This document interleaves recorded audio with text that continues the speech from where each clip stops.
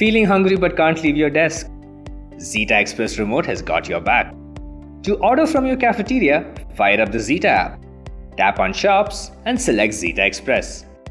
Now you can access your cafeteria menu. If you have multiple vendors at your cafeteria, all menus will appear here. Know what's available and what's out of stock, and select the items you wish to order.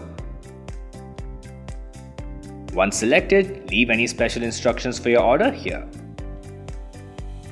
and tap Pay Now to pay. As your order is prepared, you will receive update. And when it's ready, you can either go pick it up or have it delivered to your desk. Through Zeta Express Remote, you can pay with meal vouchers or through your cash card by adding money to it. If you've got any questions, write to us and we'd be happy to help.